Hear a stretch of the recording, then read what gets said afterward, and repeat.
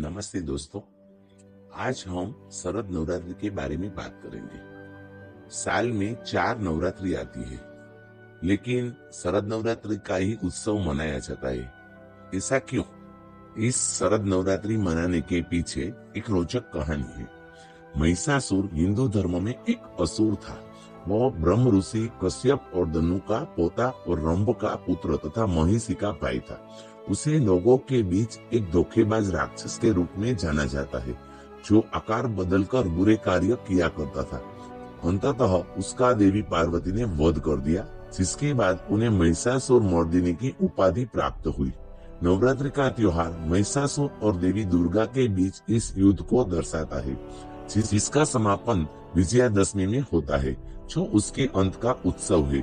बुराई पर अच्छाई की विजय की यह कहानी हिंदू धर्म विशेष रूप से शाक्त संप्रदाय में गहरा प्रतीकात्मकता रखती है और दोनों को कई दक्षिण भारत और दक्षिण पूर्व एशियाई हिंदू मंदिरों में देवी महात्म्य में से सुनाया और फिर से प्रस्तुत किया गया है। महिषासुर कौन था? महिषासुर सृष्टिकर्ता ब्रह्मा का महान भक्त था और ब्रह्मा जी ने उन्हें वरदान दिया था। कि कोई भी देवता या दानव उस पर विजय प्राप्त नहीं कर सकता। महिषासुर बाद में स्वर्गलोक के देवताओं को परेशान करने लगा और पृथ्वी पर भी उत्पात मचाने लगा। उसने स्वर्ग पर एक बार अचानक आक्रमण कर दिया और इंद्र को परास्त कर स्वर्ग पर कब्जा कर लिया तथा सभी देवताओं को वहाँ से खदेड़ दिया।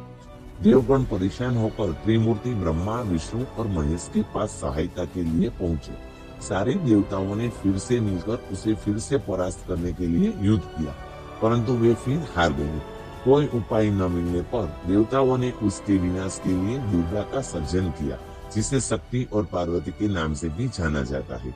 देवी दुर्गा ने महिषासुर पर आक्रमण कर उससे नौ दिनों तक युद्ध किया और दसवें दिन उसका वध किया।